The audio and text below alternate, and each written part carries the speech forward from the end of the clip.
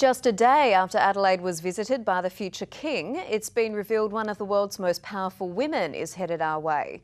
Hillary Clinton is said to be considering spending some downtime here after official duties in Perth next week. Virginia Langeberg joins us now live. And Virginia, what can you tell us?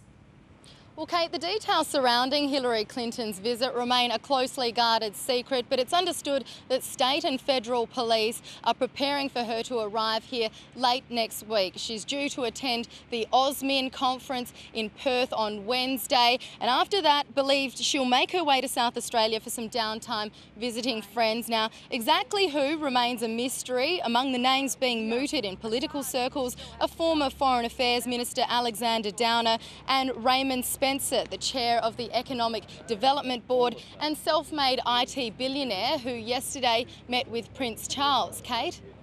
And uh, security, I'm sure, surrounding the visit will be very tight.